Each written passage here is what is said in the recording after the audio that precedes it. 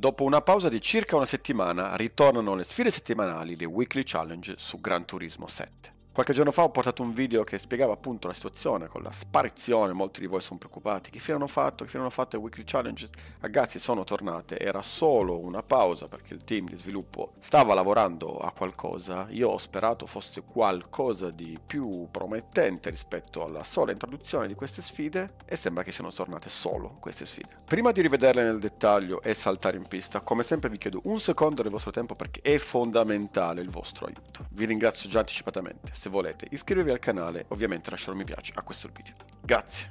Le sfide si trovano sotto circuiti mondiali, questo lo sappiamo già da diverso tempo. Selezionandoli poi in alto a destra, parzialmente nascosto dalla webcam, c'è Weekly Challenges, restano 6 giorni in questo caso.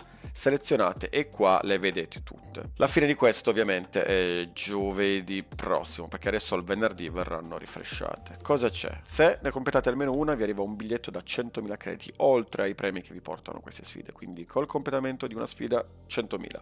Se ne fate 3, 2,50 in totale. Se le fate tutte e 5 avrete 2,50 più un'auto in omaggio con un biglietto della roulette a 6 stelle. Completando tutti e 5 eventi ho fatto un calcolo, più o meno sono 460-450 mila crediti circa. Seconda settimana di marzo, come vedete in alto, eh, più o meno anche tutte le altre sfide si strutturavano in questa maniera.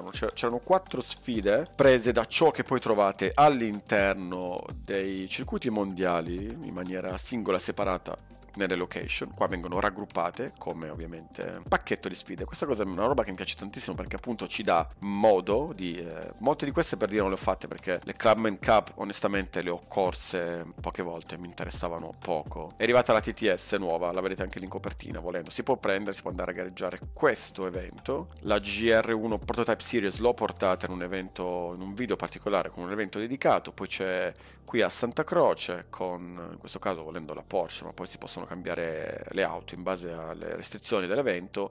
Ferrari Circuit Challenge, ovviamente con una sfida, in questo caso a Barcellona, circuito di Catalunya con le Ferrari, e quello speciale in aggiunta a questi che restano sempre questo probabilmente verrà tolto, ma ve lo potete creare con le sfide, settima- con le sfide customizzate, personalizzate.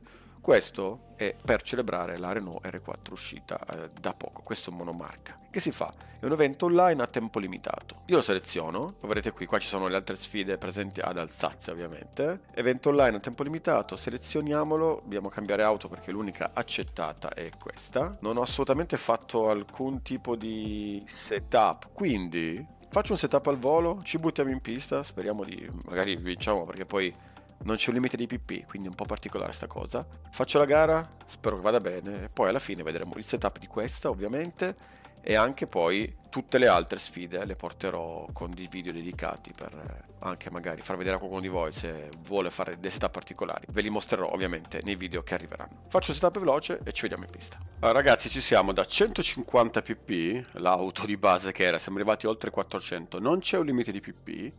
Questo personalmente lo trovo un problema qui di, di configurazione dell'evento perché adesso c'è la possibilità che la nostra auto sia molto più performante delle altre nonostante vedete la fatica che stiamo facendo a prendere questa salita. O oh, siamo anche tranquilli ho evitato di modificare tutta la parte di potenziamento sul motore pur avendo due R4 siamo belli fermi sì sì perché a quel punto sarebbe stata veramente una sfida impari. Già così, dopo due curve, siamo praticamente primi. Ho semplicemente preso mm, nuove componenti da corsa e l'auto, come vedete, di per sé è, è una scatoletta, una roba che su Gran Turismo ha senso, eh, anche a differenza di quello che molti hanno detto, perché GT l'ho ripetuto più volte, non è soltanto Auto GT3, assolutamente, non è soltanto Auto GT3, GT4, gruppo 1, GR3, GR4, qua non c'è il T di come classificazione della, della categoria delle auto, però è anche particolare vedere delle auto, perché in tutta la storia del gioco, in tutta la storia della serie ci sono state sempre auto un po' fuori dal, dagli standard. È il bello per me anche di Gran Turismo 7. In questo caso con la R4 ci stava. Mi piacerebbe fosse un po' un, un mix, uh, ci fosse un mix maggiore di, siamo larghi qua, di auto appunto storiche, va bene. Qualcosa di più moderno piacerebbe ovviamente a tutti. Mancano i tracciati, ma quello è un altro discorso, ne abbiamo già parlato.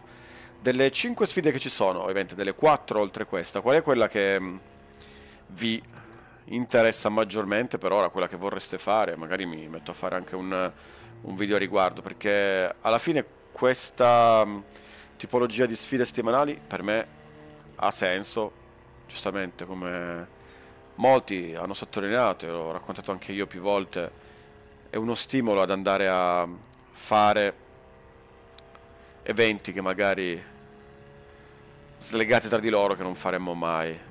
Quindi da quel punto di vista è apprezzabile, secondo me, il tentativo. Questa, come vedete, è un po' così. Se avessimo mantenuto i 150 pp delle altre, ragazzi... Avete provato la R4 di base? Siamo a 120 in discesa così. Avete visto gli altri come facevano fatica a, a salire, eh? 150 in discesa.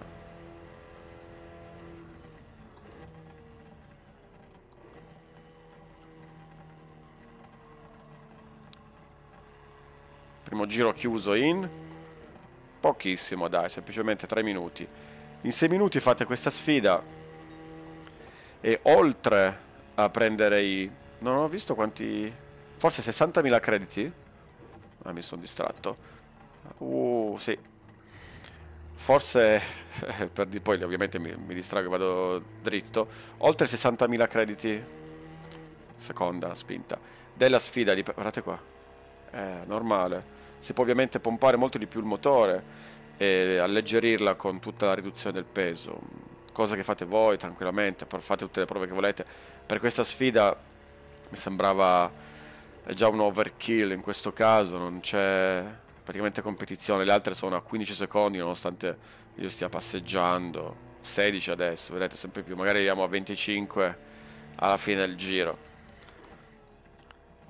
Se vi va di pomparla un po' di più, di potenziarla, ha senso, ma mancherebbero poi di nuovo magari le sfide da dove portarla in giro. Comunque, oltre i 60.000 credo di vittoria per l'evento, ci saranno i 100.000 di vittoria grazie al fatto che almeno un evento di questa serie di sfide settimanali è stato completato che quindi se volete comprare oh, ma mi è parita da sola. Una, un sovrasterzo lì all'improvviso. Se volete appunto crediti per comprare auto per potenziarne altre per swappare il motore per fare altre cose e non avete tanto tempo qui in 6 minuti circa Provate l'auto. La vedete così. Ce l'ho fatta fare anche una curva senza guardare.